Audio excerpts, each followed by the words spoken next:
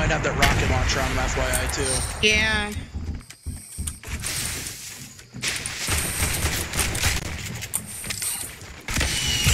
Yep. Yep.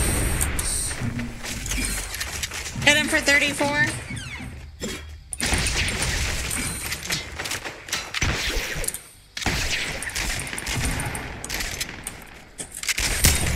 Oh!